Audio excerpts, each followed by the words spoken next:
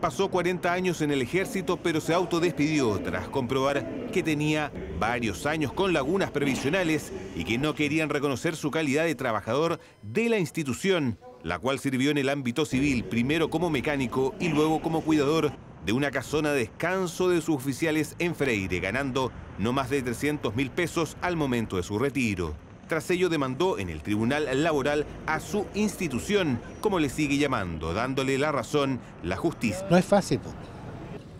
el ejército que todos queremos. ¿Toda una vida?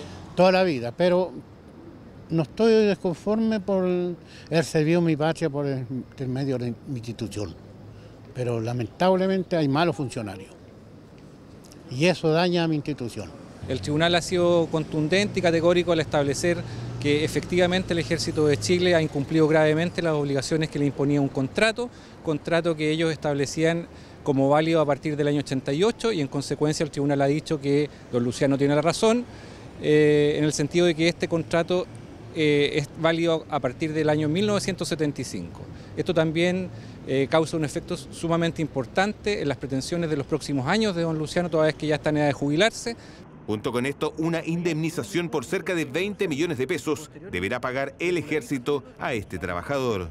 Eh, el tribunal dictaminó que a don Luciano se le debe pagar una indemnización por años de, servicio equivalente a 42 años, eh, un recargo del 50% de esa misma indemnización, eh, feriado legal y cotizaciones previsionales desde el año 75 al 88. ¿De qué monto estamos hablando?